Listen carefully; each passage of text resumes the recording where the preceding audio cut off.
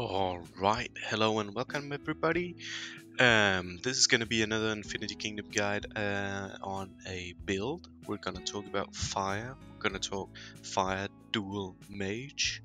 Um, this build can be used as a quite cheap or even in a free-to-play version as a main march, but uh, the main focus on on for this video and uh, my purpose with this build is running it as a secondary march. Uh, why? Simply because uh, fire is extremely flexible. You can run it with a variety of different passives and it will still perform very well. We can run fire reliably as a dual mage, meaning we need zero physical damage passives, leaving all the best skills for our main, whether that be earth, lightning, holy, whatever you fancy. Um, fire is an excellent choice for secondary team. So obviously, you know, your main march is the most important march uh, at all. And I'm gonna do this in a main march version as well. And when we get into the actual build, the passives we load on, I'm gonna do kind of, this is the absolute uh, best passives you can have, which would be the ones you would main, right? Um, but I'm also gonna do, these are the secondary passives. So if you run it as a secondary team, um, these are the passives you're gonna do. For uh, for you guys uh, who are running physical as a main march, this fire dual mage is gonna be a very very powerful secondary team. If you are not running a physical damage focused main, then this might not be for you. Then you'd probably be better off either running uh, lightning and earth hybrid or the fire um, with uh, Seon version, uh, maybe even Bethany. But for all of you with physical damage mains, this is a very very powerful, might be the, in my in my opinion, one of the absolute best secondary teams you can have. As for the precise, uh, you know, setup of Immortals, I'm personally running Baldwin in it because I like the magic debuff and he does uh, quite some quite an insane uh, burst damage. You can get a bit of RNG lock on him, meaning that uh, uh, sometimes your secondary team can take out other guys' mains if you get lucky on on the ultimate procs. Uh, alternative uh, magic mages such as Merlin, for instance, deals more consistent damage, which has its upsides as well as its downsides. I prefer Baldwin for the debuff and the RNG, but you can certainly make this work with uh, with Merlin or some some other uh, magic immortal. Now, if you're meeting facing a lot of other waters which Fire's weak against, Cleo could be a good choice as well. Um, another thing that's added by not doing Baldwin is that it becomes a free-to-play build. You know, Trajan is all obviously not free to play, but he can be replaced by Hippolyta and in that case we have a completely free-to-play version using William, Hippo, Merlin slash Cleo and Wu. That's the free-to-play version. I'm gonna build that out as well as the build's going to be the same. Um, you also have the slightly better version, uh, but which is a uh, pay, pay gated, paywalled, sorry, um, of William, Trajan, Baldwin, and Wu. That's the one I'm using, um, but you know, many things can work, especially with fire. This build will perform extremely well against pretty much everything. Uh, water mains can be a struggle. Uh, shadow it does quite quite well against. Um, uh, Sometimes you're able to even beat uh, stronger shadows with the fire, simply because the burst damage and the fact that you're kind of muting Himiko's uh, control abilities by having two mages, not just one. Um, obviously it loses quite hard to Holy, it does not do very well against Pure Earths, and uh, uh, if you're up against Holy or Pure Earth, uh, I'd advise you do a Khan version of this fire build. You Khan do that, if, especially if you main it, but also if you have Khan spare for your secondary team. Maybe you're running uh, Kin, Sino, Barker, Alex hybrid for main like I do, well then uh, then an, a can fire can be very very powerful. Right, that's the Immortals. That's kind of we have a lot of leeway. We have a lot of things to choose from, but the build itself is going to be pretty much the same. Let's get dive a bit into how it actually works. It's uh, it's a pretty simple setup. Um, it revolves around pumping big magic damage from Wu and Baldwin, whatever you got back there, um, meaning that Trajan and William they provide buffs, you know, insane crit buffs, and you're gonna load them out with auras and blessings and graces utility. They're pretty much gonna be uh, gonna be utility tank dummies that just buff your backline to deal massive damage. Okay, so for uh, the Tower of Knowledge passives, you know, there's a bunch of different builds and versions, and like I said in the beginning, gonna start by doing sort of uh, what would I do if this was actually my main. Um, then we're gonna do uh, you know alternative passives to some of the S tier stuff that you might not have lying around. I'm gonna show what I run as a secondary team in uh, in synergy with my own uh, Wind Earth hybrid main, um, as well as uh, a few other pointers. So um, to begin with, uh, if you run it with like let's imagine you have every Tower of Knowledge um, passive available to you, then this is what you want to do. You want to run Empress Wu, Annihilation, Death Breath, Chase. That's going to give her max procs on Chase. Uh, you need a uh, heavy uh, crit artifact, you know, one that boosts her crit chance, uh, because that will enable her to to consistently proc uh, Chase on cooldown um, with a Death Breath and Annihilation. She's going to deal massive damage if you build that right. On Baldwin, you want to do either uh, Root or Fire Nova. Fire Nova has slightly reduced utility in a Fire March, um, but it can still work quite well. Root is a personal favorite of mine. Uh, I know many people disagree with me, but I'm gonna stick to my guns and say I really like Root. It is quite a lot more RNG. I mean, sometimes it's not gonna do much, but when it procs, it, it makes a huge difference.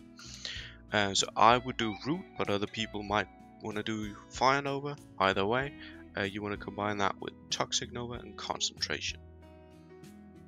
We're running a magic damage artifact on Baldwin. You know, of, want to get the crit bonus because we're doing a fire uh, weakness crit march, but the uh, the top uh, roll you want to have magic damage and not crit chance. Uh, this is because we're building him for pure magic damage. You know, we're not running chase here. We're not going for consistent crit procs.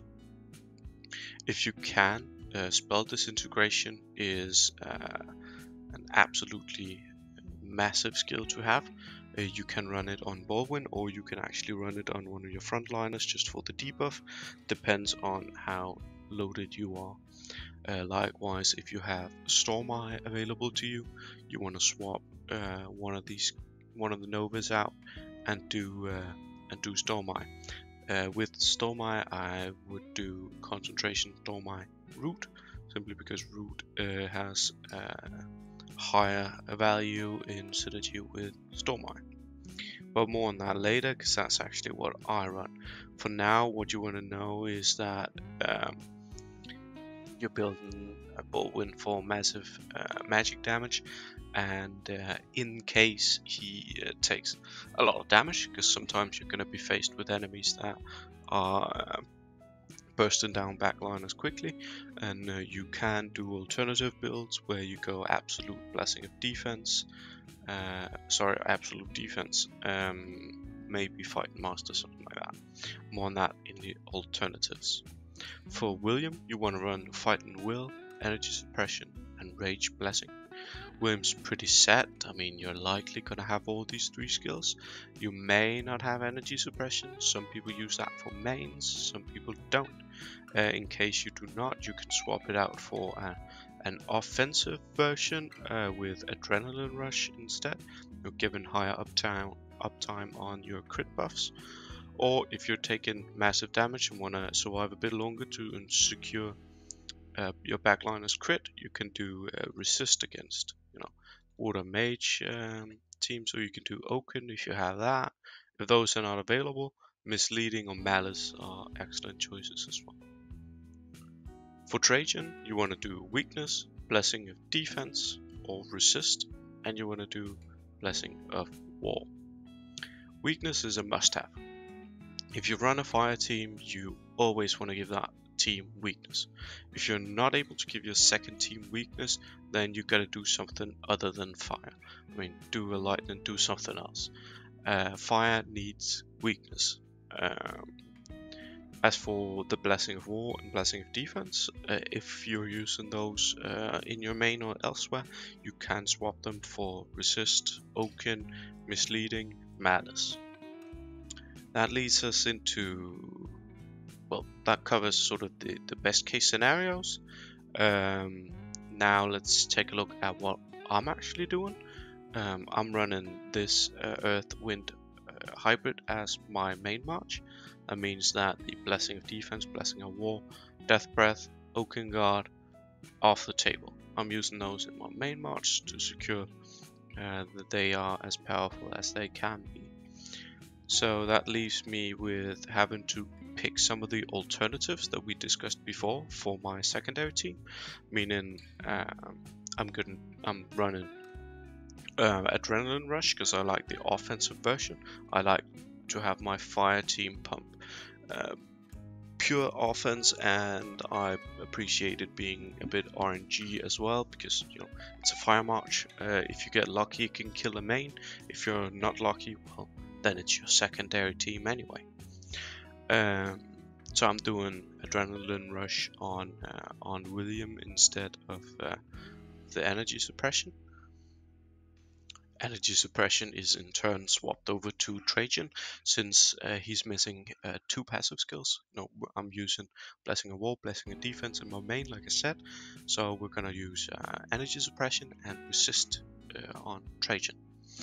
That's my loadout anyway. Um, you should also beware that I get enhanced value from both Root and Fighting Will since I do have the Storm Eye um, Tower Knowledge passive unlocked from uh, from the Conquest season.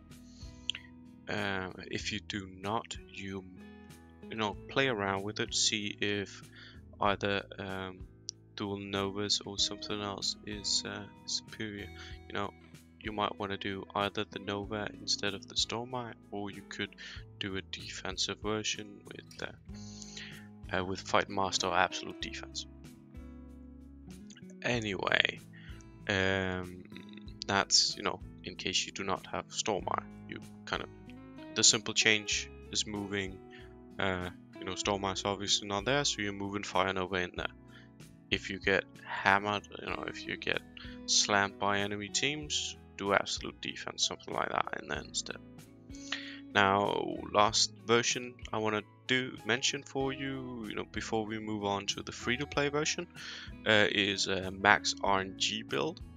Um, you can run this, uh, you know, we've got a lot of a crit, especially on our Wu. We've got you know, William, we've got Trajan, we've got weakness, we've got the Fire Dragon, we've got a crit artifact. You know, we're really pumping, we're getting like 60 70% crits, meaning very consistent uptime on Energy Burst and Chase, and enough crit chance that Annihilation uh, by itself actually becomes a reliable proc.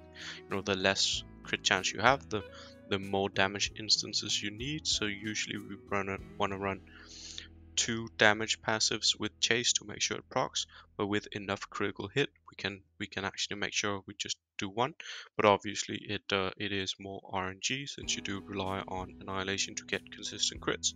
If you get unlucky, it falls entirely apart but when it works it pumps uh, even more damage than the other version because we're having our Empress Wu consistently maxing her energy bar while proccing Chase uh, passively. It's also just a lot of fun and I mean like I said it's a personal preference. I like to go go hard on RNG because it makes some fun results sometimes uh, but if you're not really into that, you can do uh, one of the more consistent versions. uh, I will just reinforce and emphasize the point that uh, this does require a very well crafted and well rolled uh, artifact. You need a crit rate up front, and you preferably want a crit rate or crit value as a secondary role as well. Um, if you do not have either of these, then you're not gonna get uh, enough procs. Anyway, those were sort of what we threw like four or five different versions and a bunch of alternatives for fire. I think that sets you up quite well into uh, into mixing your secondary team. If you have questions, you know, reach out on Discord and we can talk about it. It is quite a lot to uh, to have this many alternatives and this many versions flying around. I will, however, add one more because I did promise you all a free-to-play version. Uh, this has been asked of me, um, and I made one. Basically, what you want to do is run Merlin and Hippolyta instead of Baldwin and Trajan. That makes it an entirely free-to-play uh, setup, and one which you can run with the exact same passives as we've been doing before. The only exception being that um, Energy Burst can actually work very well on Hippolyta, so if you have enough crit, you might consider that. Other than that, the builds and the reasoning behind why we use each passive, precisely the same. So go through the passives we discussed before and just load them up on Merlin and Hippolyta and you've got yourself a very, very strong free-to-play secondary team. Right, so these were all versions that sort of are available to me with my Earthwind Hybrid as a main. Your main march might differ, um, in which case you're gonna have to swap out some of the non-key skill uh, passives. Uh, we talked about it and we did a couple versions, but I just want to re-emphasize a couple points, you know, sort of the logic behind which skills to to swap around as you adjust to fit with with your main. So first of all, weakness, you want to have that in here at all cost. It needs to be in the fire team. If you can't run it here, don't run it. Um, make sure you've got chase active on Empress Wu and that it's matched with preferably two strong proc passives. Uh, this means many damage instances and uh, many chances for crits, but you also need a crit boost, boost artifact with it. Uh, if you get to massive levels of crit, you can try the RNG version, but only at massive crit rates. You can opt for a more defensive playstyle if your mages back are dying too quickly. If you're faced with other burst setups that do this better than yours, then uh, you can try and fix it by running absolute defense and or fighting master. They can be uh, quite handy to exchange for root or other passives on your backline. Making sure you retain troop count uh, is it can be key against some setups. Energy burst in general can be used if you have you know enough crit rate. Like I said, on Wu you really need a lot of crit, um, but running the free-to-play version with Hippolyta makes a lot of sense. If you're using uh, Blessing of War, Blessing of Defense in your main, I mean, uh, sorry, if you're not using Blessing of War or Blessing of Defense in your, in your main, then they are very powerful in fire. These blessings do proc the fire dragon and provides extremely high value to the fire team uh, in addition to just synergizing well with the burst setup uh, playstyle that we're going for here. Like I'd rather have Blessing of War and Blessing of Defense than most skills in here. Stuff like Adrenaline Rush, Resist, Fight and Will, stuff like that. I'd actually swap that out for uh, for either of these blessings. Um, do be aware the fight and will with Stormeye has greater value. Leading me into my last point, if you do have Stormeye or Spell Disintegration available, then uh, you want to swap those in, uh, either with Root or uh, sorry with uh, Nova or Adrenaline Rush, one of those. Be aware that with Stormeye, Root and Fighting Will becomes higher value and you want to retain them over Blessing and Defense as well. That was it for the Fire uh, Dual Mage Guide. I know that this might have been a bit more clustered than some of the other setups. I tried to sort of show how many different versions you can actually do. Um, because fire is a very versatile setup.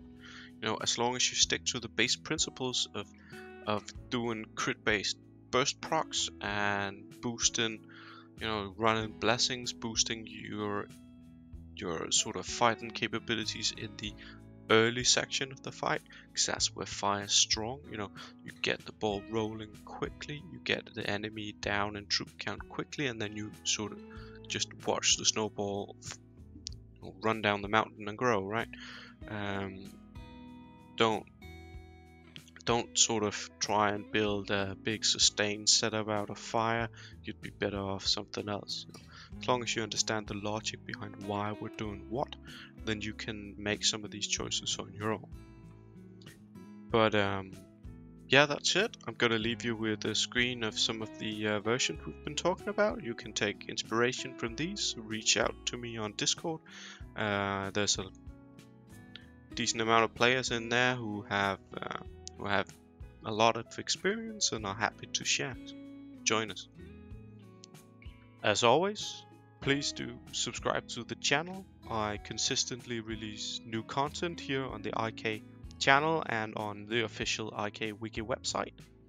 Links are in the description.